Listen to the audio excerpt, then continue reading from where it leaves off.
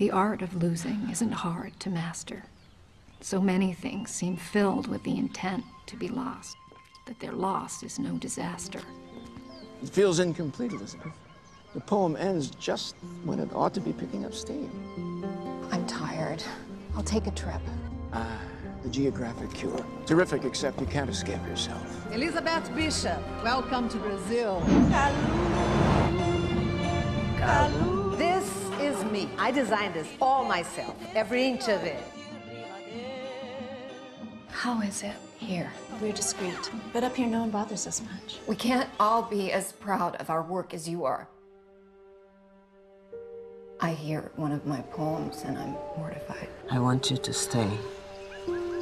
Let's adopt a baby. You'll buy me a baby so that you can have an affair with another woman? That's what you've always wanted, to make a family for us. So this will be your studio. It's perfect. It's heaven. The shooting stars in your black hair, a bright formation. Elizabeth, you won the Pulitzer.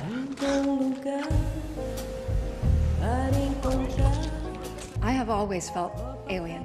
Here in Brazil, you treat me like a sister, and I have never felt more at home.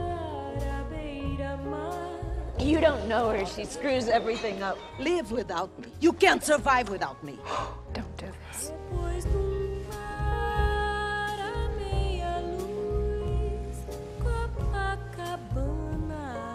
Where did you learn to speak such good English? By reading your poems, honey.